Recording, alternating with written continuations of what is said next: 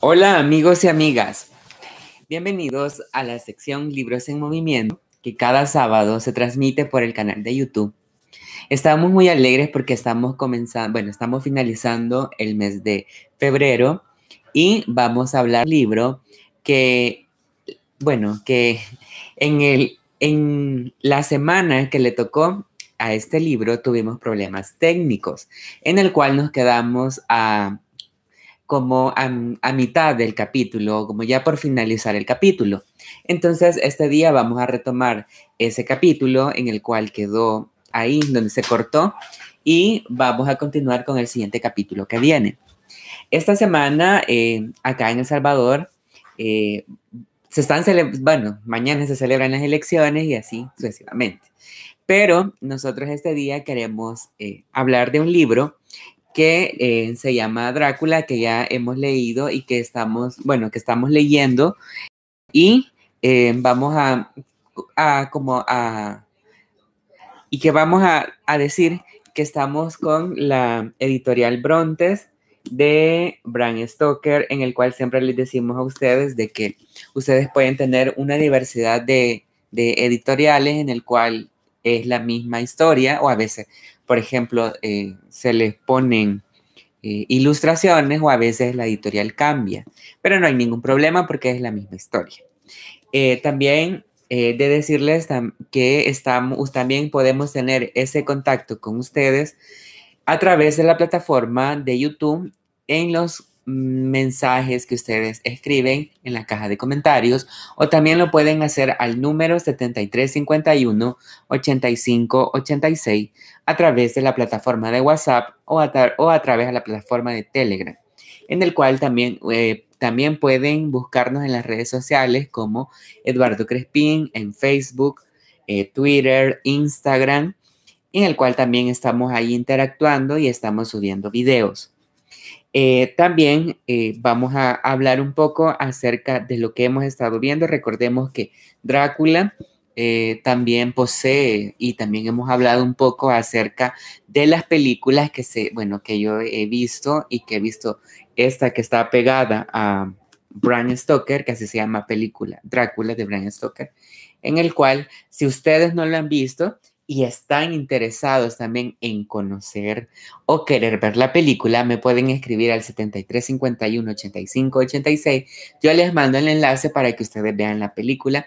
Lo pueden hacer, bueno, podemos utilizar la plataforma de Telegram, que es, la, es una de las plataformas que nos permite eh, ver películas. Entonces yo les puedo mandar el enlace si me lo piden y yo les envío la película para que ustedes vean. Eso sí que es un poco no sé, de misterio y así es muy interesante. Y no es recomendable verlo en la noche porque recordemos que él juega con nuestra psiqui y eh, puede causar algunos sueños.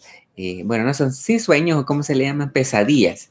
Entonces, pero si ustedes están interesados en ver esa película, yo les puedo mandar el enlace a través de Telegram. Así que ahí ustedes me escriben y yo les envío el enlace. Entonces, vamos, este día vamos a hablar acerca de Drácula, vamos a retomarlo. Eh, recordemos que nos habíamos quedado en este capítulo en el cual eh, Jonathan Harker eh, hablaba acerca de la situación con, bueno, él planteaba la situación de, ya él entendía de que era una persona que estaba atrapada dentro del castillo, eh, y que ya se había dado cuenta o como que ya había reflexionado eh, que él, digamos, en la historia nos mencionaba de que ya, ya conocía que quién era Drácula, que solamente existía Drácula en ese castillo y él, que no habían más sirvientes, que él había, se había percatado de que Drácula salía por las noches y que no comía y que siempre él le servía la comida, le hacía la comida para él, y, también una cosa que a mí me llamaba la atención era que Drácula siempre le decía que cuando le diera sueño tenía que irse a la habitación porque era peligroso estar fuera, porque él no se hacía responsable de lo que le pasara a Jonathan Harker si se quedaba en alguna sala, porque recordemos que Jonathan Harker le gustaba mucho leer, entonces se iba a la biblioteca, leía lo que tenía que leer, escribía las cartas y luego se las daba al conde para que las mandara, y, pero al mismo tiempo, eh, él, vea, se sentía tan cansado que a veces le daba como sueño. Entonces lo que le recomendaba a Drácula era, mira, o sea, no te quedes ahí y ándate a tu cuarto porque estás más seguro en tu cuarto que ahí. Pero no sabemos por qué, porque eso es lo que necesitamos conocer o, la situación de ese, de ese, hecho. Entonces también eh, recordemos que eh, Jonathan Harker tiene la curiosidad de saber cuál es lo, o sea, qué es lo que hace Drácula durante su periodo eh, nocturno, porque recordemos que no se veían en la mañana, pero sí lo hacía eh, desvelarse. Entonces pasaba la medianoche y así, porque en la historia aparece que él se duerme como tipo 2 de la mañana, 3 de la mañana, y entonces nunca entendió el por qué o por qué nunca le daba sueño y así. Entonces, hasta que ve a Drácula eh, bajar por una pendiente, que sería la pendiente donde está el castillo, y se da cuenta de que es, o sea, que es Drácula. Pero en realidad, o sea, lo que no sabía si era él o estaba teniendo como un sueño, algo así mencionaba. Pero eh, sí era, o sea, él estaba seguro que era Drácula. Entonces nos quedamos hasta ahí y bueno, por las fallas técnicas que tuvimos la semana pasada no pudimos terminar. Entonces vamos a comenzar por eh, la fecha desde la fecha, vamos a darle continuación a cerrar el capítulo y luego vamos a abrir el siguiente capítulo. Entonces nos quedamos que el día más tarde, que era 16 de mayo, por la mañana, que, que Dios me guarde la salud, es lo único que le pido. La libertad y la garantía, la seguridad pertenece al pasado. Durante el tiempo que siga en este lugar, solo deseo no volverme loco si es que aún no le estoy.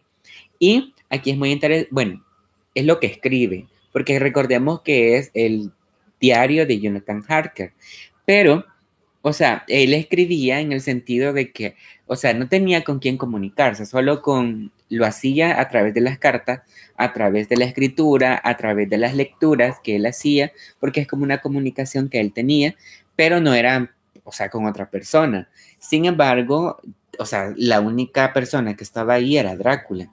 Entonces él decía de que no sabía si estaba loco o, o sea, no sabía si ya estaba loco o estaba por hacerse loco. De, estar cuerdo es, es exasperante llegar a pensar que de cuántas cosas horribles acechan en este lugar, lo que menos me asusta es el conde, pues mientras cumpla sus deseos me dará seguridad. Dios mío, apiádate de mí. Haz que conserve la serenidad, pues si estoy perdido, ahora empieza a aclararse cosas que han preocupado con anterioridad. Supongo que el hecho de escribir este diario me ayuda a mantener la esperanza, es lo que les mencionaba. Luego dice, la misteriosa advertencia del conde me asustó un momento, tanto que todavía ahora siento escalofríos cuando pienso en aquellos que porque ahora en adelante tendrán un inmenso poder sobre mí.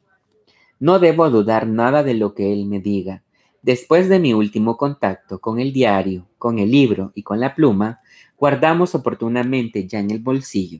Sentí como el sueño se apoderaba de mí, recorté la advertencia del conde y sentí un extraño placer desobedeciéndola. La, la tenue luz de la luna consiguió sosegarse al fin y la vasta extensión del paisaje que contemplaba me produjo una reconfortante sensación de libertad. En aquel momento decidí que no volvería a esas eh, lobregas dependencias y que dormiría aquí, donde las damas se han sentado, gozado y vivido plácidos momentos mientras sus tiernos corazones añoraban la ausencia de sus amados, que se hallaban luchando encarnizadas batallas. Saqué de un rincón de la instancia un gran sillón y lo acerqué a la ventana para contemplar cómodamente tendido el paisaje del este al sur, ignorando el polvo y la suciedad que habría por todas partes. Eh, recordemos que como solo estaba Drácula y solo estaba él, entonces el castillo no había limpieza, no había luz, etc. Entonces era como lo lúgubre. Entonces, está lo que nos dice él. Debí quedarme dormido, eso espero, aunque mucho me temo que todo lo ocurrido era escaloríficamente real, tan real que ahora mismo acomodo bajo el templo Sol de la mañana, no soy capaz de creer que todo se tratará de un simple sueño. Había alguien conmigo, la habitación seguía siendo la misma, todo colocado en el mismo orden que cuando entré.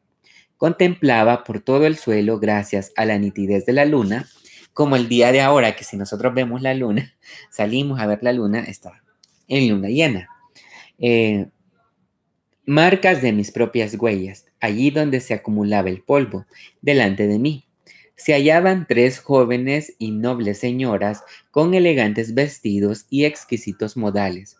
No dudé de que era un sueño por la proximidad de estas, las cuales, a pesar de de estar de espaldas a la luna, ninguna reflectaba su sombra en el suelo. Se acercaron a mí y se detuvieron a animarme durante algún tiempo. Después hablaron en voz baja entre ellas. Dos eran morenas con altas y aquileñas narices, parecidas a las del conde. Grandes ojos que parecían completamente rojos en contraste con la palidez de su rostro.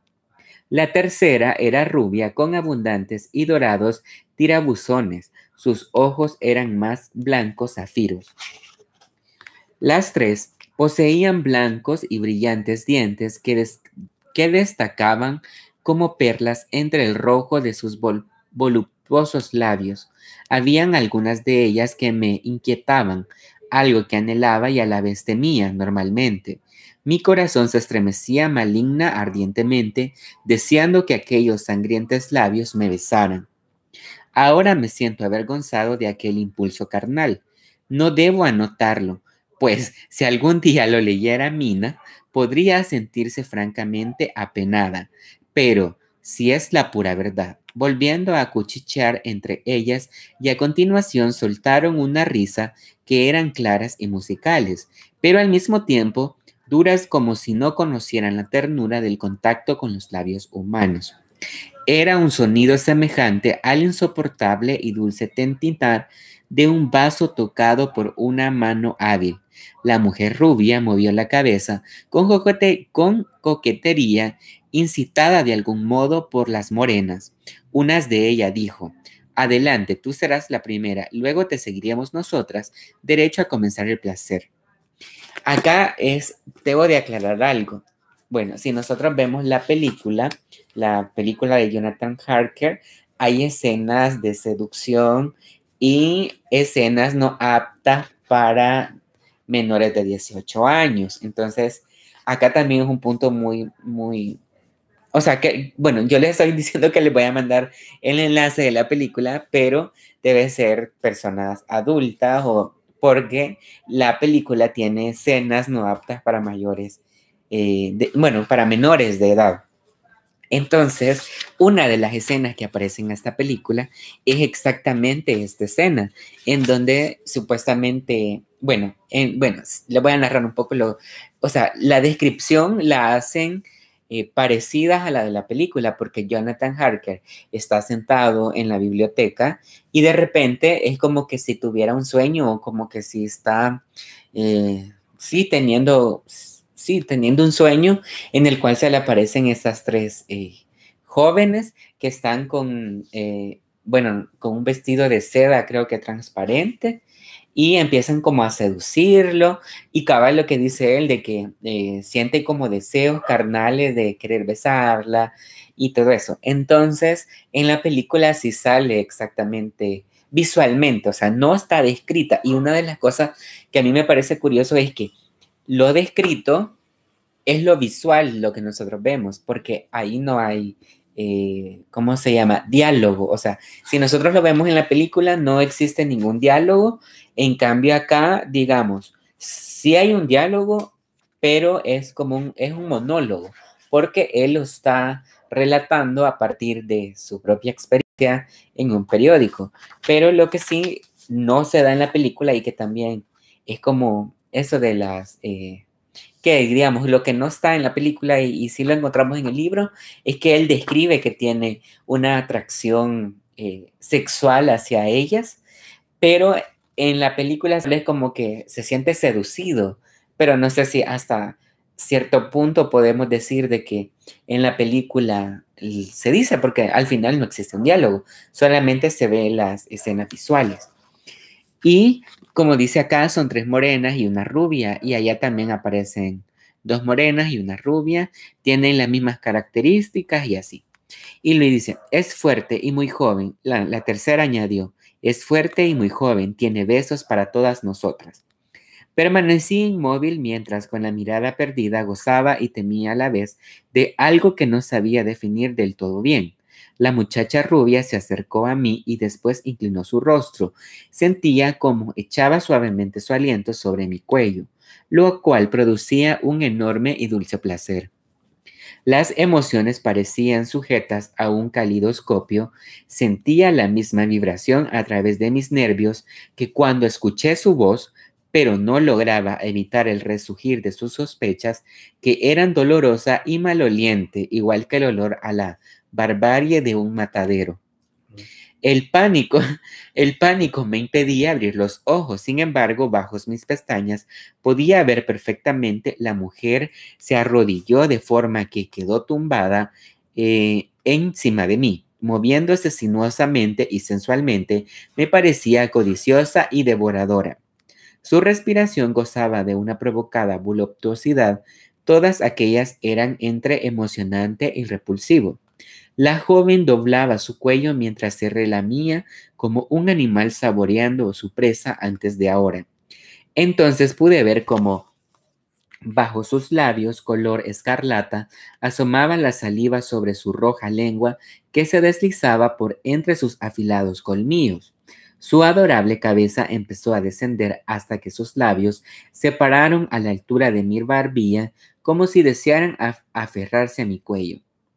Tan cerca estaba su boca que podía oír claramente el chasquido de su lengua, relamiendo dientes y labios. Sentí el ardiente aliento sobre mi carne trémula, sentí que mi piel se estremecía al contacto con carne y cada vez más próxima, más, más próxima, más. Entonces, la descripción es lo que les decía, de que acá en el libro aparece la descripción de la escena, porque eso no, o sea, nosotros lo vemos visualmente y es como que en unos dos segundos en donde se da lo, visual, en cambio aquí narra, o sea, que eh, le vio los colmillos, sintió la sensación de que en su barbilla, el, el bueno, uno cuando uno respira, eh, eso, el aroma, eh, también dice de que... olía muerto. Ajá, que olía muerto, exacto. Y quiero ver qué más, ajá, eso. Entonces es como más descriptivo en sí el libro que en la película. Y luego menciona, mi garganta estaba hipersensiblemente y aquel suave y excitante roce de sus labios al contacto de unos dientes afilados que parecían penetrar en el interior de mi cuello antes de lo que antes del antes de que lo atacaran. Se detuvieron y entonces yo cerré los ojos totalmente abandonado al placer y esperé, esperé con el corazón palpitante. Pero en aquel preciso instante, de forma brusca, otra emoción me invadió como un relámpago y dejé de sentir aquellos afilados dientes cerca de mi cuello. Podía notar la presencia del conde. Finalmente logré abrir los ojos y él estaba allí, con el rostro invadido por una intensa furia que parecía sobrenatural. Con su, con su férrea mano agarraba el esbelto cuello de la muchacha rubia y con una fuerza inhumana. Sus ojos azules se habían teñido de rojo por la ira se mordía coléricamente los labios con sus blancos dientes y sus pálidas mejillas enrojecieron de incitada, excitada indignación.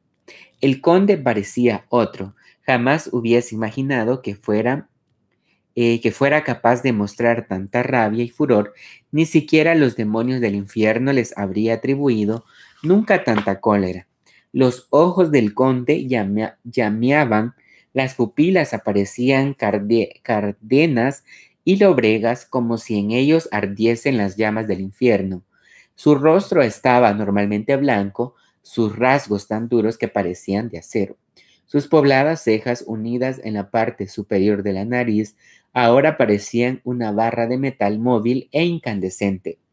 De una furiosa sacudida lanzó a la muchacha muy lejos y a continuación señaló a los demás con un ademán imperioso y muy significativo. Este era un gesto de poder y mando, el mismo que le vi utilizar la primera noche con los lobos. En voz baja, casi susurrándome, pero al mismo tiempo cortante, exclamó, ¿Cómo osáis tocarle? ¿Queréis poseerle en contra de mi voluntad? Atrás, este es mío, solo mío. Tened mucho cuidado de no mezclarnos en su vida o tendréis que ver solas conmigo. Sí, ver solas conmigo. La muchacha rubia soltó una carcajada repulsiva y lasciva, pero a la vez coqueta y respondió, Tú no puedes amar y nunca lo has hecho. las demás mujeres apoyaron la protesta de lo anterior y en la instancia resonaron unas carcajadas tan sumamente destempladas y desalmadas que al oírlas estuve a punto de sufrir un desmayo. Eran risas demoníacas. Luego el conde se dio la vuelta y se quedó mirándome fijamente y se susurró dulcemente.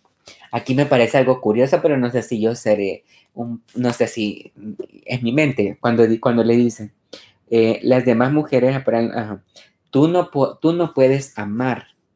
¿Será que el conde estaba enamorado de, de, Jonathan Harker?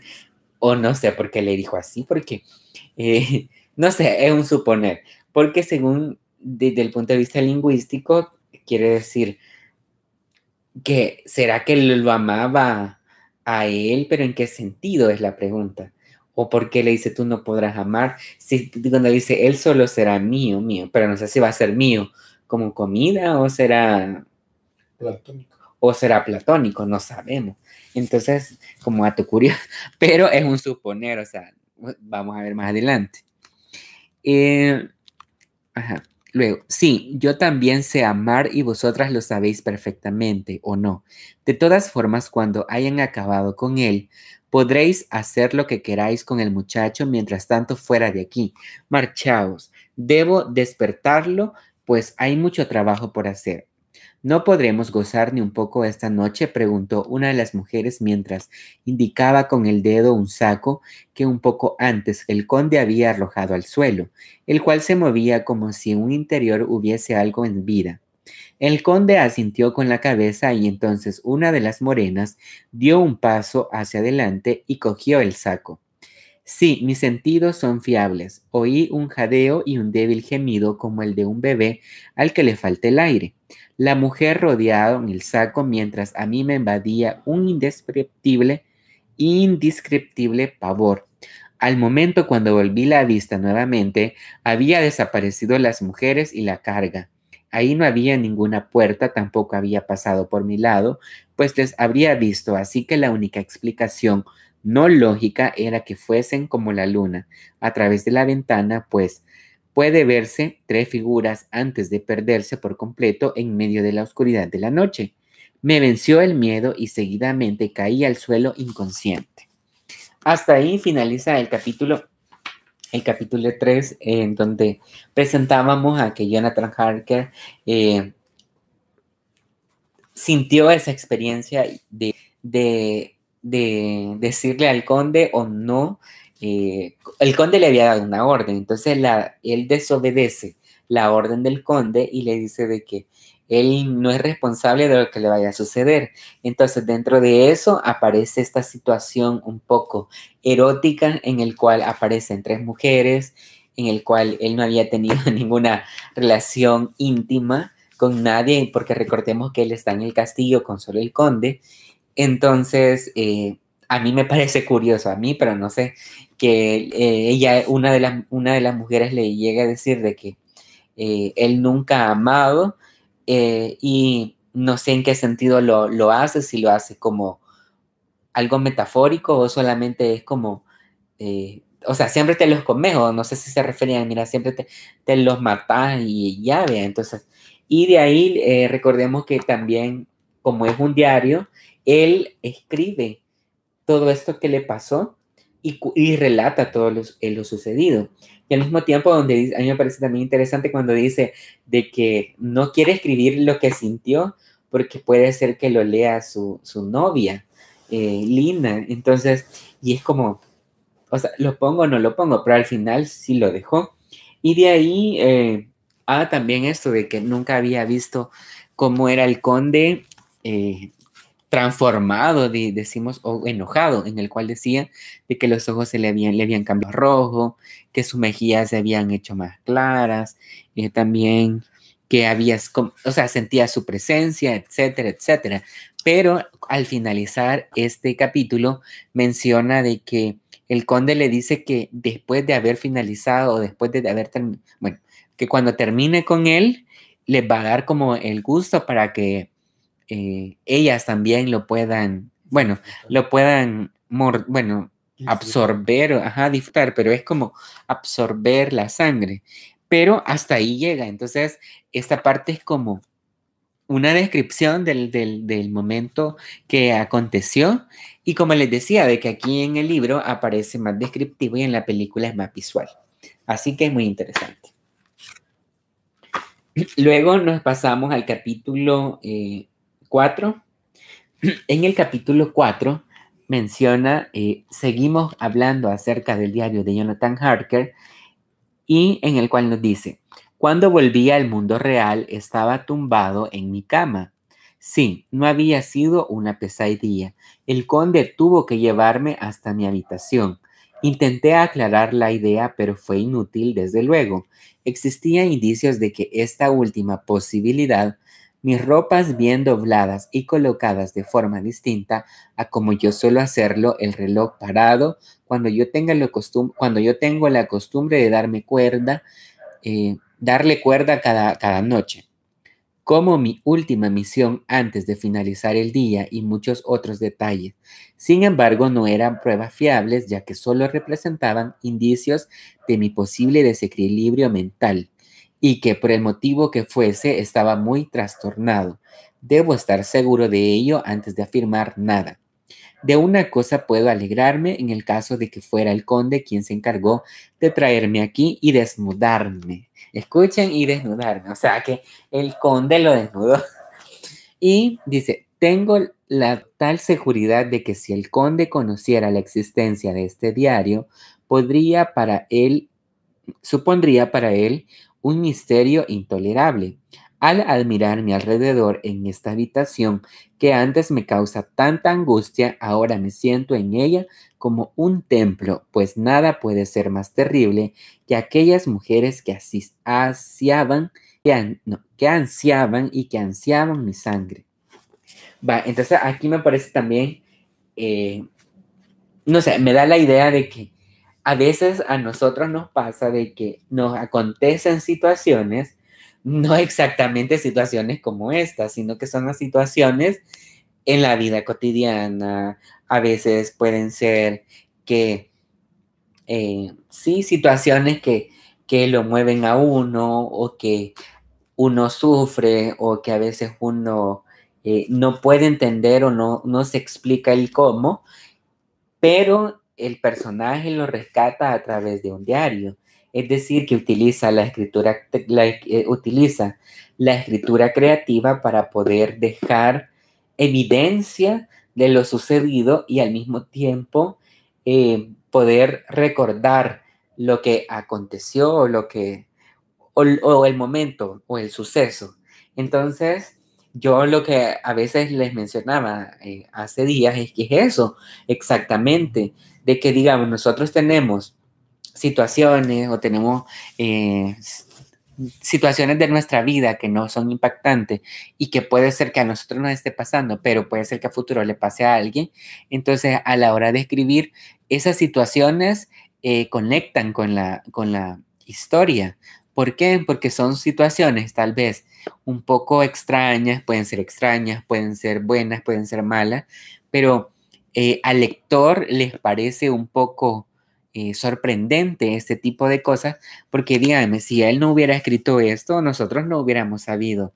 Si lo vemos desde el punto de vista eh, descriptivo, es decir, o sea, solo dice, pero si no lo hubiera escrito, ¿qué hubiera pasado? Solo hubiera con el recuerdo de esa persona. Entonces ahí no hubiera sido publicado o no hubiera sido leído en el, en el diario, porque recordemos que él está describiendo la historia, los hechos y los sucesos a través de un diario, que es como el instrumento en el cual eh, utiliza para poder desarrollar toda la historia. Y nos pasamos al 18 de mayo. He regresado a aquella habitación, pero esta vez, este día, pues necesito aclarar lo ocurrido. Me acerqué a la puerta de la zona alta de la escalera y estaba cerrada. Había sido encajada con tanta fuerza que al abrirla, parte de la, madera se astilló. Mucho me temo que lo sucedido la noche anterior no fue ninguna pesadilla, por lo tanto debo actuar conforme a esta decisión. Si ustedes se fijan, el 18 de mayo lo que hace Jonathan Harker eh, es escribir nada más de que, o sea, tiene eh, como evidencia de lo que le había pasado, en el cual dice de que la puerta en sí estaba, o sea, estaba tan cerrada que se astilló a la hora de abrir. Entonces es lo único que, escribe el 18 de mayo. Luego se pasa al 19 de mayo. No cabe duda de que estoy atrapado. Anoche el conde me rogó muy suavemente que escribiese tres cartas. Una que dijera que ya había finalizado mi trabajo y que regresaba a Inglaterra en unos días. Otra señalando que partiría el día siguiente a la fecha de salida de la carta y la tercera, después haber salido supuestamente del castillo, ya desde Bistris, al principio quise eh, revelarme, pero después pensé que sería una locura tener una discusión con el conde tal y como esta situación. Solo empeoraría las cosas. El conde, mis, eh, el conde mis sospechas y sabe que no debo seguir viviendo pues representó un peligro para él.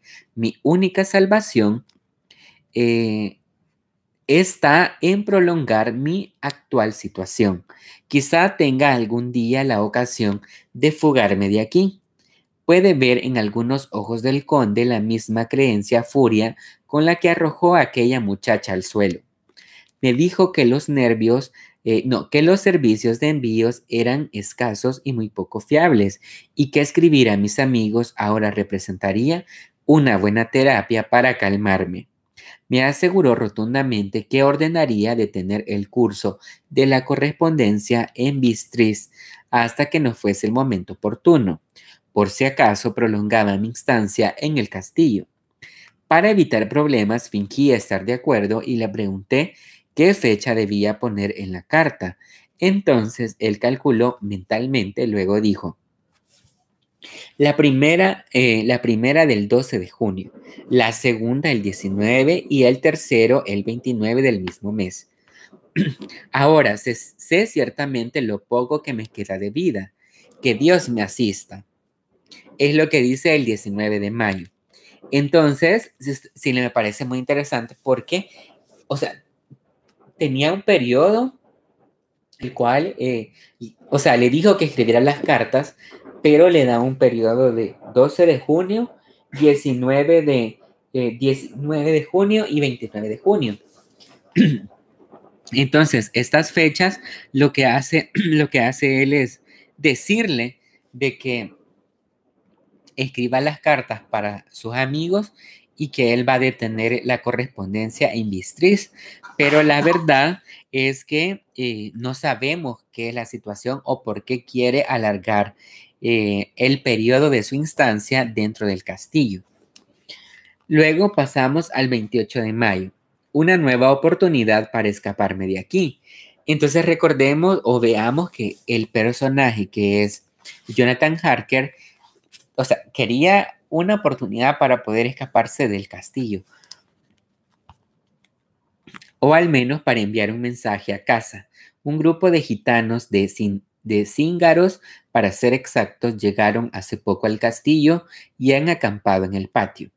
Primero escribiré algunas cartas a Inglaterra e intentaré estos me las lleven al correo. Ya he establecido el primer contacto con los gitanos desde mi ventana. Se quitaron los sombreros haciendo una especie de reverencia y después empezaron a hacer una serie de gestos que vi que a mí me costó interpretar. He terminado de escribir las cartas. La de Mina está taquigrafiada explicándole mi situación, elidiendo muchos de los, eh, de los horrores. Si le confesara todo lo que siento, se moriría de espanto. Eh, si no me contestan, entonces el conde no sabría realmente cuánto sé. Los cíngaros ya tienen mis cartas, se las arrojé por entre los barrotes de mi ventana junto con una moneda de oro. Luego hice gran cantidad de gestos más expresivos que significativos de gran eh, de manera que comprendieran sin error posible mis deseos. El gitano que se las recogió se las llevó fuertemente al pecho e hizo una reverencia y las metió en su gorra. Ahora solo podía esperar, así que volví al estudio y me puse a leer. Viendo que el conde se retrasaba, comencé a escribir. El conde ya regresó, ya regresó. Sí, el conde ya ha regresado. Se ha sentado a mi lado y mientras abría las dos cartas con sus más delicada voz me, ha dicho, uno de los gitanos me ha dado estas cartas y aunque no sé de dónde vienen, me encargaré de ellas. Vaya sorpresa. Seguro que ya sabía con anterioridad de quién eran ambas cartas. Una es de usted dirigida a un amigo Peter Hensky. La otra, en aquel momento, debido a los signos extraños para él, su rostro adquirió una expresión malévola y los labios empezaron a temblarle. La otra era un ultraje de la amistad. No lleva ninguna firma, así que no debemos preocupar. Entonces, con gran tranquilidad, acercó la carta de la, a la llama de la lámpara hasta que el papel quedó convertido en cenizas. Luego dijo, la carta del señor Henskin, como es de usted haré que la envíe, pues sus cartas son sagradas para mí. Espero que perdone mi torpeza al romper el sello, pero le seguiré un sobre nuevo. Me entregó la carta y después, con un corté reverencia, me ofreció otro sobre. No pude saber otra cosa que no sea volver a escribir la dirección y devolver la carta sumisivamente. Cuando el conde salió de habitación, oí cómo giraba la llave muy eh, lentamente. Después de un rato intenté abrir la puerta, pero efectivamente estaba cerrada con llave. Si ustedes se fijan, entonces el conde le cerraba, le, o sea, cerraba eh, el estudio para que él no se saliera. Al cabo de unas horas, cuando el conde entró de nuevo en la habitación, me despertó, pues sin querer me había quedado dormido en el sofá. Estaba encantado y de buen humor y al ver que yo había estado durmiendo me dijo, ¿así que se, se encuentra cansado, joven amigo? Váyase a la cama, es el mejor lugar para descansar. Esa noche no podré tener el placer de charlar con usted, ya que tengo mucho trabajo. Usted duerma, por favor. Fui a mi habitación y me tumbé en la cama y sucedió algo muy extraño. Me dormí, pero sin soñar. La desesperación debe traerme también algún momento de calma. Entonces, en la semana esta del 28 de mayo, la situación que sucede es que él escribe cartas para, para Mina, en el cual se las da a los gitanos. Los gitanos le entregan algunas cartas al conde y eh, sabemos que hay una carta que le da miedo, es la que quema. No sabemos si era de la iglesia o de qué, pero le da la oportunidad de poder eh, leer la carta de que le había enviado el señor Hemskins. Y al mismo tiempo, es lo que les decía, de que el conde le cierra eh, las puertas para que él no se salga. Y al mismo tiempo eh, le dice de que esta, esta noche no va a poder charlar con él, porque recordemos que el conde siempre por las noches es cuando tenían unas conversaciones que aquí dice que se ponían a conversar y a conversar y que llegaban hasta la madrugada y, o sea, no, no dormía en las noches, sino que en la mañana. Entonces, es lo que nos dice Jonathan Harkin en el día, en el día 28. El día 30 él no lo escribe, sino que se pasa al día 31 de mayo. Al despertarme esta mañana he decidido ponerme a buscar papel y sobres. He buscado en mi maleta y entre mi bolsillo los papeles para así poder escribir a la menor oportunidad. Pero nuevamente algo me ha sorprendido hasta el punto de quedarme helado. También otra cosa me parece interesante es que dice que, o sea, él escribía el, diario, pero en papeles, o sea, no era un libro así que, que uno, o un cuaderno que uno le, sino que era en páginas. Entonces, eh, es lo que yo entiendo cuando dice que buscaba papeles y sobres para escribir. No quedaba rastro de los papeles de mis apuntes, tampoco de los tinteros de trenes y bienes, ni de la carta de créditos en una palabra todo aquello que pudiese usar en el caso de que escapara de aquí, me senté para poder pensar mejor y entonces tuve una idea.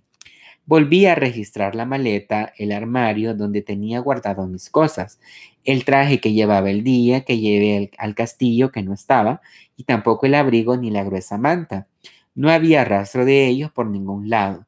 De nuevo se trataba de un tenebroso y malévolo ardid de Drácula. Entonces, ustedes se fijan, todas las pertenencias de Jonathan Harker se las, bueno, desaparecieron o no sé qué es lo que habían hecho.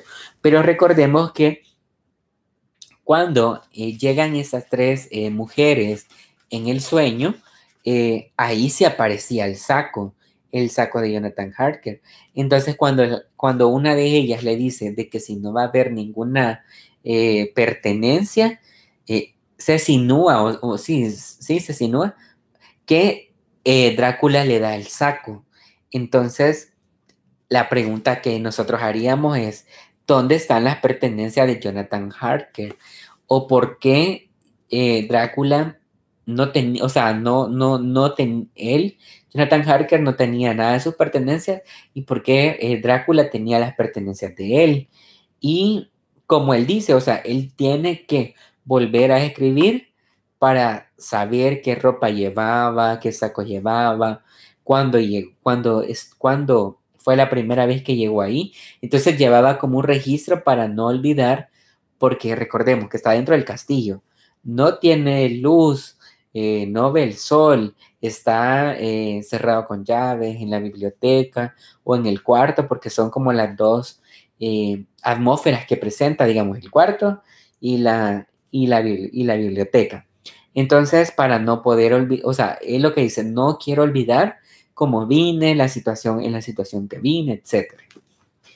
Y luego se pasa al 17 de junio. Recordemos que en anterioridad habíamos dicho de que la primera carta iba a ser el 12 de junio, el otra carta iba a ser el 19 y el otro el 29. Y él en su mente o en su teoría era de que eran como las últimas fechas en el cual él pensaba que lo iba a matar. Entonces, pero ya se va acercando esa fecha y tenemos que ir poniéndole atención y recordando las fechas que nos habían dado anteriormente. 17 de junio. Esta mañana, sentado en el borde de la cama mientras pensaba, oí fuera restallido de látigos, de látigos y ruidos de cascos de caballos que avanzaban por el camino pedregoso del patio. De repente sentí un inusitado júbilo. Corrí hacia la ventana y pude ver como ocho fuertes animales arrastraban dos grandes carretas. A esto los guiaba un eslovaco que lucía un sombrero de la ala ancha, un cinturón de cuero de oveja clavetado, altas botas y zamarra sucia.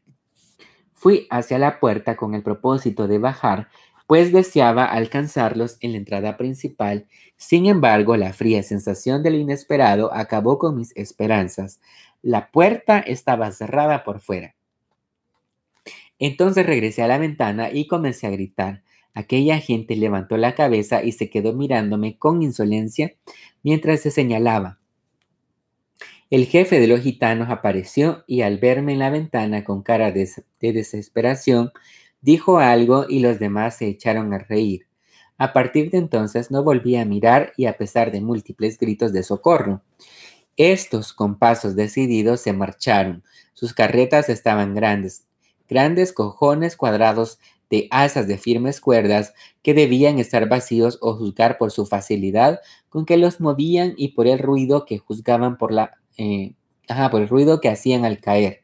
Ya descargados y apilados en un rincón del patio, los gitanos pagaron a los eslovacos, los cuales empezaron a escupir sobre el dinero, supongo que para darle suerte. Después se subieron a sus respectivas carretas y se fueron. Enseguida oí cómo se alejaba el restallar de látigos.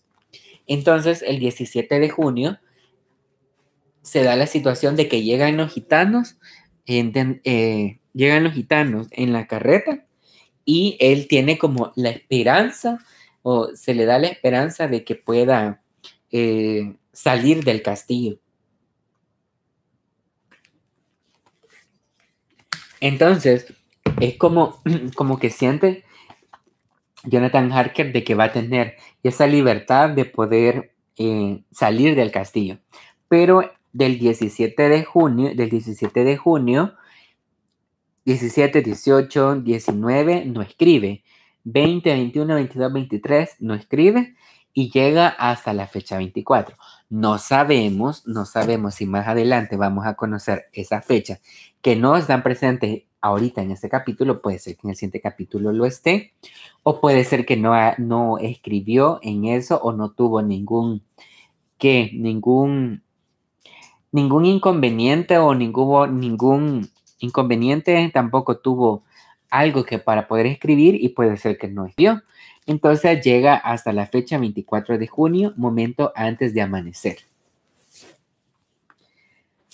Esta noche pasa, pasa, eh, pasada el conde, sí, pasada el conde, me dejó solo y se encerró con llave en su habitación. Hecho que aproveché a la que tuve valor suficiente para subir a la habitación con vista al sur con la intención de vigilar al conde. Pues me temía que estaba tramando algo. Los gitanos, eh, sí, los gitanos Duermen en alguna parte del castillo y trabajan en colaboración con el conde en algo muy misterioso. Estoy seguro, pues de vez en cuando a lo lejos oigo ruidos de picos y palas. Desconozco que esté tan, que este tan esfuerzo, que esté tanto esfuerzo, pero estoy convencido de que no se trata de nada bueno. Llevaba más de media hora observando por la ventana cuando vi que algo salía por la ventana del conde. Retrocedí un poco para ver si, dejar de, eh, sin dejar de vigilar atentamente.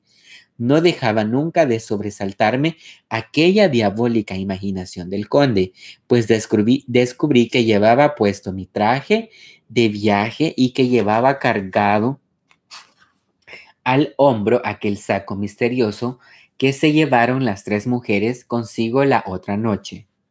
Estaba claro lo que buscaba y encima con mi ropa. Se trataba claramente de un nuevo plan infernal para que los gitanos crean que soy yo el que salió del castillo, así que podrían decir que me han visto en el pueblo depositando las cartas al correo, con lo cual, con, con la que cualquier maldad suya me será atribuida a mí.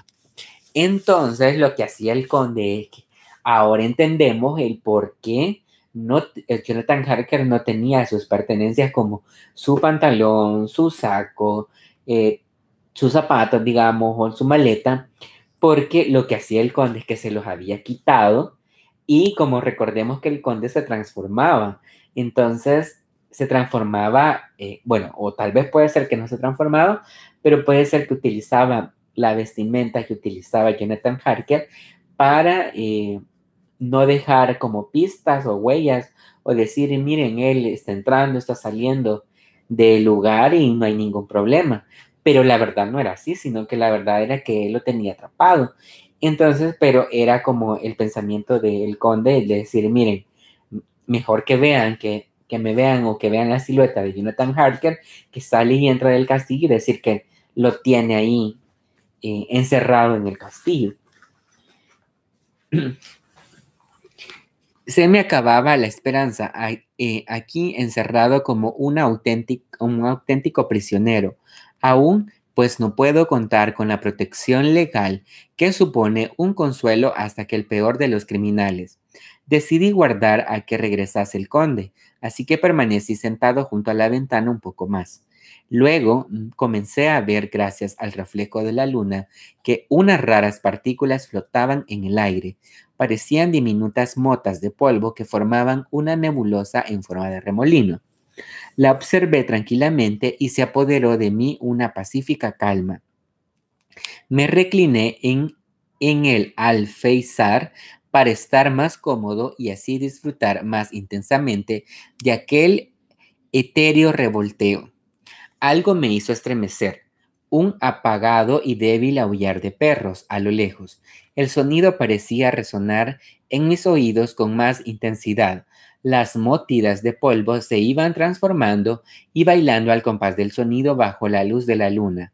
Comprobé que, mi, que me incitaba a caer a la llamada de mis adormecidos instintos, pero eh, mi alma luchaba y mi sensibilidad, aún adormecida, se esforzaban para responder a esa llamada.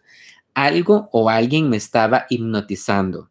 Los bailoteos de polvo eran cada vez más rápidos, tanto que parecían tintinear al pasar a mi lado y luego perderse en la penumbra de la instancia.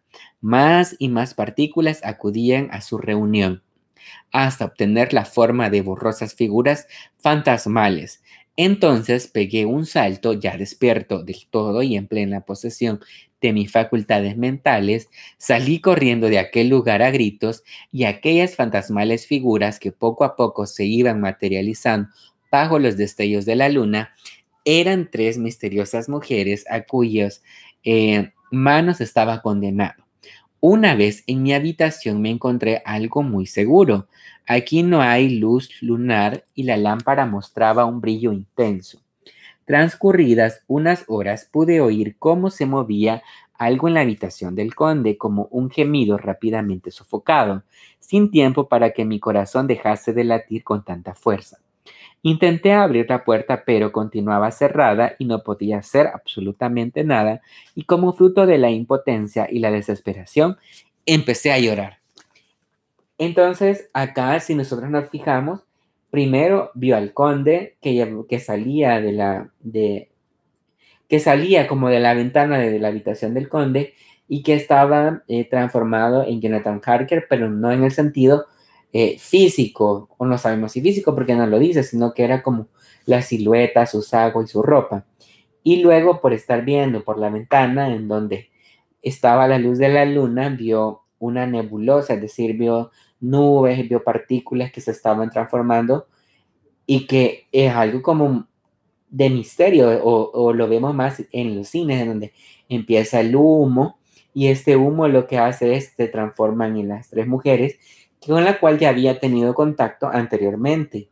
Pero eso también me parece raro porque en la noche los dos lugares o los dos lugares donde él está, o bueno, el lugar donde puede estar resguardado solamente es en su habitación.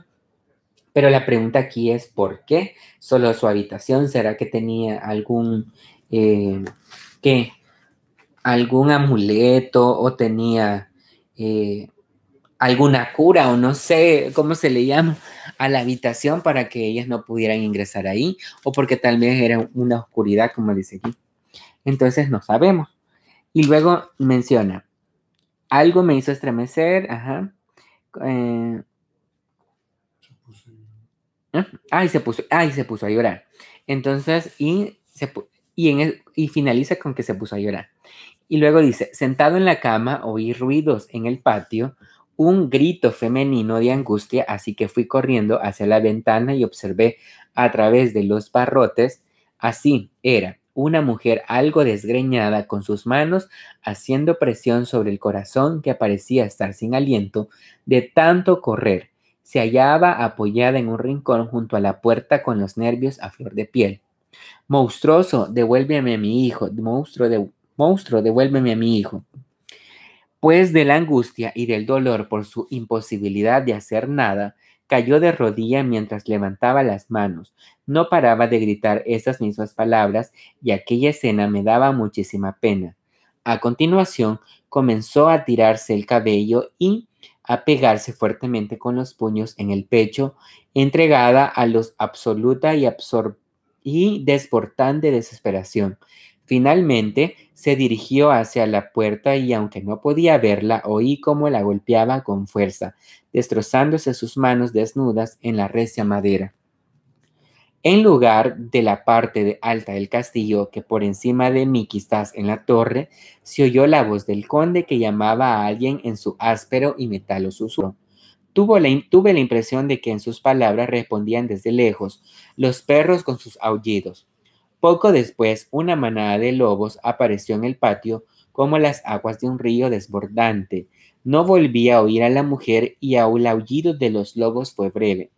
Al poco rato se marcharon unos, eh, uno tras otro, relamiéndose sus ensangrentados hocicos. No compadecía a la mujer, pues imaginando lo que le podía haber pasado a su hijo, estaba mejor, estaba mejor muerta. ¿Qué haré ahora? ¿Qué futuro me espera? ¿Cómo puedo huir de esta terrible noche de abatimiento y temor? que son las preguntas que él deja y que hace eh, en la fecha 24 de junio, que es cuando les decía que ya se estaba como acercando. Pero lo que a mí me parece así como eh, extraño es que había una mujer afuera que gritaba, monstruo, devuélveme a mi hijo. Quiere decir que no sé si el conde o no sé si estas mujeres eh, salían a cazar Sí, lo que estaba en el saco era el niño. ¿El niño? El que estaba en el saco hace como dos noches. Era el niño dentro del saco y se lo entregó a las mujeres vampiro ya para que hicieran festín. Y hoy llegó la mamá a reclamarla. Pero se lo acabaron los lobos. Ah, entonces, pero eso es lo que es lo que te decía que no entendí, porque eso está detrás del discurso, porque no te lo da muy claro decir, mira, ah, o sea, no te da el hecho de que se robaban a, las criaturas y que entonces lo, cuando, cuando ellas le preguntan que si no va a haber ningún festín, es cuando, ajá, es cuando, ajá, entonces cuando el conde le dice que le, le va a dar el saco. Y entonces en el saco, como tú decías, estaba el niño. Que es el hijo de esta señora. Que es el hijo de esta señora. Que se la acaban de comer los lobos. Que se la, ajá. O sea, es una historia dentro de otra historia. Interesante. Bueno.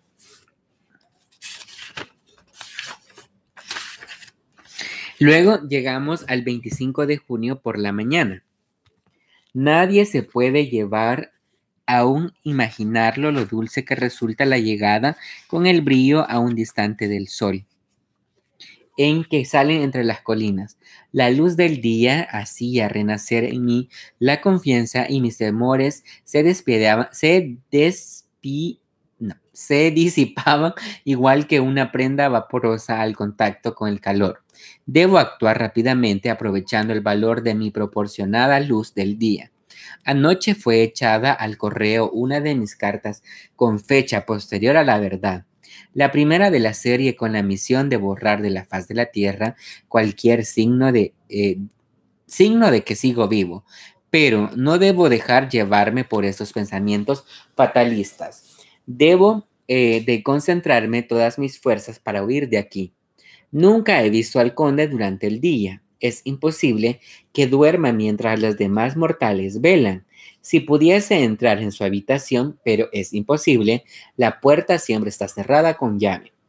Si existiera una manera y si tengo el valor necesario para hacerlo, ¿no puede entrar a alguien por donde él sale? Yo mismo vi como el conde por yo mismo vi raptar el conde por el muro. Y si me limito y entro por su ventana, es una, es una oportunidad arriesgada, pero mi ansia por ser libre es, es mayor aún.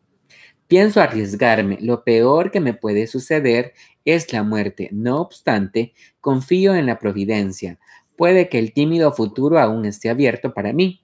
Que Dios me proteja de cualquier peligro que está, que está peligro en esta arriesgada empresa. Adiós, Mina. Si fracaso, adiós, mi fiel amigo y segundo padre Peter Henskin. Adiós a todos pero sobre todo a Mina. Ese mismo día, por la noche, lo he logrado con la ayuda de Dios. He llegado a la habitación del conde. Debo anotar ordenadamente todos los detalles. Recordemos que al inicio, en la descripción del castillo, aparece de que, el, digamos, el castillo está sobre un lugar eh, donde hay un, donde hay un risco, en donde está, digamos, una parte donde hay eh, grama, pero en, el otro lugar es el riesgo. Y entonces la ventana donde está el, cuarto del conde es, es, cabalito donde está el riesgo. Entonces, ¿cómo habrá hecho Jonathan Harker para poder llegar hasta ahí? Porque uno no tenía cuerdas, no te dice cómo, eh, no te dice cuál fue la situación, etcétera. Entonces, algo. Un hueco literario. Ajá, parece un hueco literario. Pero si nos remontamos a que en los castillos antes, que es la época medieval, eh, los castillos estaban hechos de rocas, en el cual estas rocas no estaban 100% alineadas como, como ahora, vea, que uno hace los, los edificios y es, no, sino que estaban como sacadas. Entonces puede ser que esa pueda ser la solución, pero no lo dice. Entonces, eh, dice, debo anotar ordenadamente los detalles que nos va a decir. Caminé mientras aún me quedaba algo de valor hacia la ventana al lado sur, desde donde rápidamente salía la cornisa que rodeaba todo el castillo. Las piedras eran enormes, eh, desgastadas y, sin restos de mortero entre ellas por el paso del tiempo. Me quité las botas y seguí adelante con la peligrosa expedición. De nuevo, miré hacia abajo y para evitar que el vértigo me hiciese caer, no volví a bajar la mirada.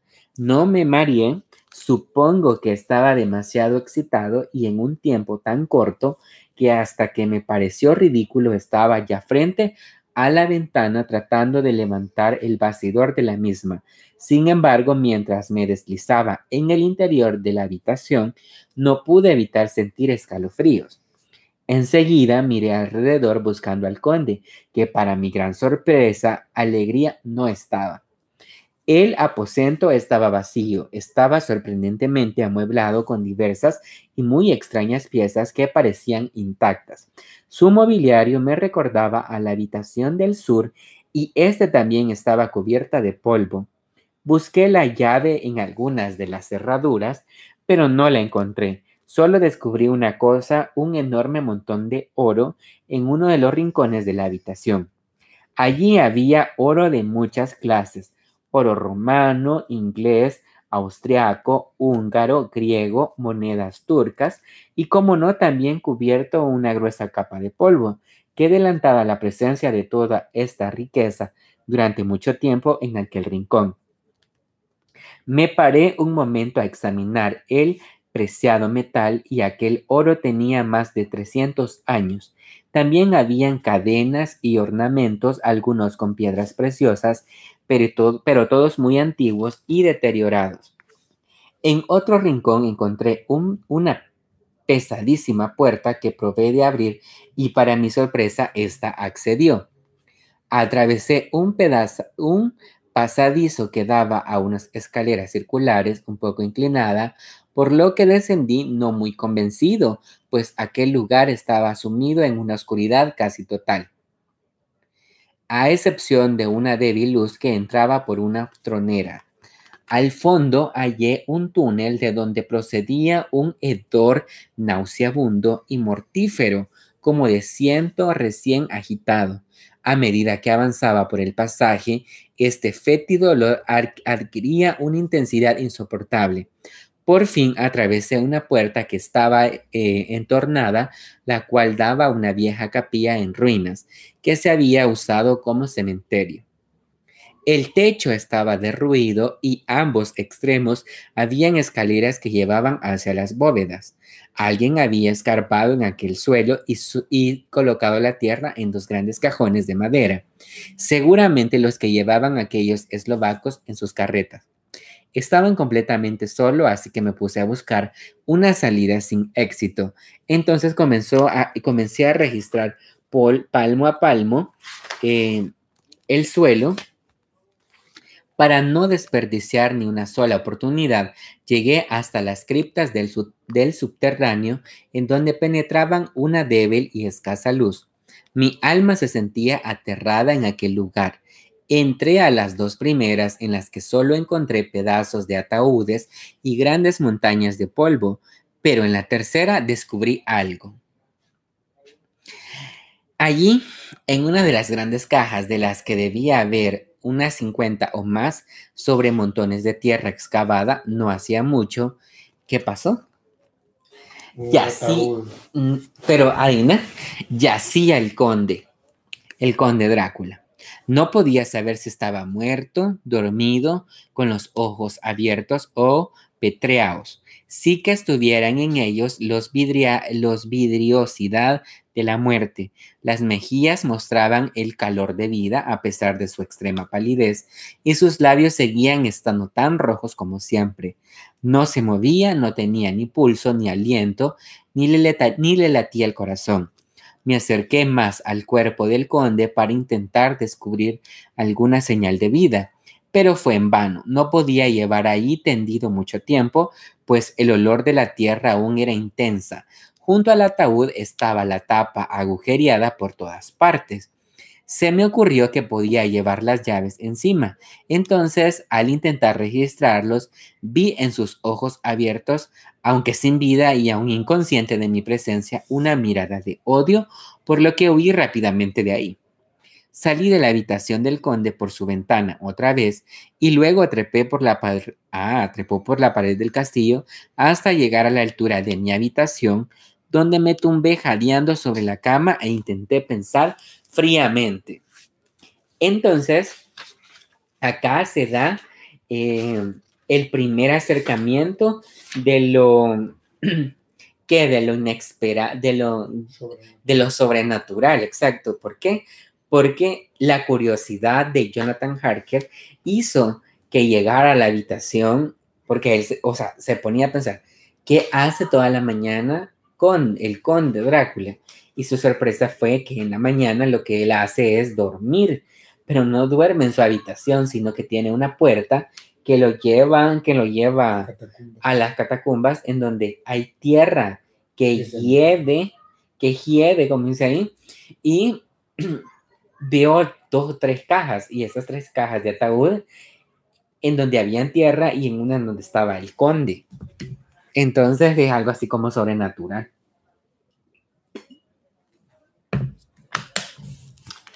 Y llegamos al 29 de junio, que sería la tercera carta. Eh, que eh, vamos a seguir leyendo en una próxima, en una próxima, eh, en la siguiente, ajá, en la que continuará, en donde vamos a hablar vamos a conocer un poco más acerca de lo que le, le pudo suceder a Jonathan Harker por haber ido o haber, eh, sí, se ha infiltrado, podríamos decir, a la habitación de eh, el conde Drácula, porque recordemos que el conde Drácula tiene olfato, tiene eso de las sensaciones que, eh, o sea, él sabe lo que ha pasado dentro de su castillo y me imagino, no sé si puede ser, puede ser que sí, puede ser que no. O sea, al ver que llegó el aroma y todo eso, como que se va a preguntar qué pasó, vea. Pero recordemos, como él decía en el capítulo final, en este capítulo era de que él estaba frío, con los ojos abiertos, con el color de los ojos de fuego, estaba helado y sus mejillas estaban rojas. Estaba dentro de un ataúd en donde estaba un montón de tierra que hedía y entonces son cosas sobrenaturales que para Jonathan Harker lo escribe y lo redacta tal cual como sucedió. Entonces, pero continúa, o sea, continúa, en el cual vamos a estar leyendo en nuestra siguiente, eh, bueno, en nuestra siguiente, sex, bueno, en la, en la siguiente día que nosotros estemos o, o estemos con la lectura de Drácula. Recordemos que el libro es en movimiento eh, no solamente se trata de hablar del mismo libro, sino que llevamos eh, historias en paralelo y que vamos leyendo y que cada sábado nosotros estamos dándole lectura, estamos viendo temas, también estamos sacando análisis en sí de, la obra y también estamos comentando acerca de lo que nos, nos gustó o cómo ha hecho el, el, el escritor para poder montar en sí la historia. Entonces, desde un punto de vista eh, de lector, no así como, como análisis literario, nada de eso, sino que como el punto de vista del lector para poder ir encajando como las escenas, los momentos, las situaciones, lo impactante en sí de la lectura o qué es lo que va a reflejar o, no, o nos da eso de entender qué podemos tomar o qué no podemos tomar. Eh, por ejemplo, hoy conocimos un poco de que acciones o situaciones que mueven o que te acontecen a uno, que acontecen al otro, pueden ser retomadas para darle a una historia. También me pareció muy interesante lo de que uno, nosotros contamos historias y estas historias a veces no se difunden porque nosotros no las escribimos o porque solo las guardamos como nuestras experiencias personales, pero no va más allá de las, o sea, nosotros no escribimos, no hacemos escritura creativa. Entonces, una de mis recomendaciones sería, usted tenga un cuaderno, tenga una libreta y escriba esas situaciones y que son impactantes, ya sea para uno o para el otro, lo que usted vio, lo que escuchó, porque pueden servir para, eh, bueno, para hacer este tipo de construcción de, historias. O también puede ser eh, alguna idea que los motive a crear no solo historias narrativas, sino que puede ser teatro, puede ser poesía, puede ser pintura, eh, etcétera. Un montón de manifestaciones artísticas que tiene el ser humano. Pero eso sí que necesita de experiencias, de situaciones y de momentos que puedan hacer que uno eh, mueva al otro, porque la, en sí es eso de que conmover al otro, como nos ha pasado en este caso con Drácula de Bram Stoker. Así que amigos y amigos, amigas y amigos, antes de despedirme, quiero invitarlos a suscribirse al canal, activar la campanita de notificaciones, a dejarlos, dejar comentarios en la caja de comentarios, también seguirme en redes sociales como Eduardo Crespin, en Facebook, Twitter, Instagram y en Telegram. Y si tú estás interesado en ver la película, también me puedes escribir en Telegram al número 73518586, donde yo te estaré mandando el enlace de la película de Bram Stoker, en el cual está muy apegada a el libro, por si tú lo quieres ver. Así que... si, si son de El Salvador, no dejen de ir a votar. Ah, y también recordar a todas las personas, bueno, no quería hablar de poco de política, pero nosotros en El Salvador en este momento estamos en una etapa muy decisiva en el cual nosotros tenemos la decisión de poder elegir, bueno, todos los países tienen la decisión de elegir a los candidatos, a sus gobernantes también. Y recordemos que todos los salvadoreños, bueno, es un derecho el de ir a votar. No importa si votas por un candidato, por una bandera o por un no partidario, o puede ser nulo, puede ser, etcétera, lo que tú quieras, pero lo importante es que vayas a votar, que de, de tomar decisiones, eh, tomes tus decisiones y que votes, o sea, que es tu derecho y que lo hagas. Así que eh, es de invitarles también a todos nuestros amigos que nos ven en El Salvador y que son de El Salvador en el cual el día de mañana vayan temprano a votar. Abren las urnas a las 7 de la mañana y las cierran hasta las 5, recuerden, no sé si va a ser hasta las 5. Entonces no dejen la oportunidad o no esperen eh, que, que, otros decidan, eh, ajá, que otros decidan y al mismo tiempo que deben de, cumplir el derecho que tienen como eh, personas ciudadanas y civiles, en el cual es ir a votar. No importa por quién lo hagan, lo importante es que ustedes vayan, vayan temprano eh, y que tengan las medidas de protección necesarias, porque recordemos que estamos en pandemia, en el cual no se les olvide la mascarilla, no se les olvide el alcohol gel, no se les olvide que eh, si ustedes cuando toquen el crayón, lavarse las manos, o bueno, si hay para lavarse las manos, lavarse las manos, o lleven su alcohol gel, lávense con alcohol gel. Eh, si llevan también niños, protejan. Bueno, no, bueno el, tribunal no les está permitiendo niños, pero a veces hay padres que los llevan, pero si los llevan, eh, pónganles cubreboca o pónganle alguna mascarilla. Bueno, máscaras, eh, mm, sí, una máscara para que eh, no, no, no, sean puntos de contagio y también a las personas adultas eh, de tercera edad, también recuerden en protegerlas, en ponerle mascarilla, en lavarse las manos, que es lo más importante, lavarse las manos, y no, y no dejen de votar. Así que ustedes tienen la decisión de los gobernantes que se van a elegir el día de mañana. Así que los invito a que vayan a votar. Así que amigos y amigas, gracias por haber estado en Libres Movimiento y nos vemos a la próxima.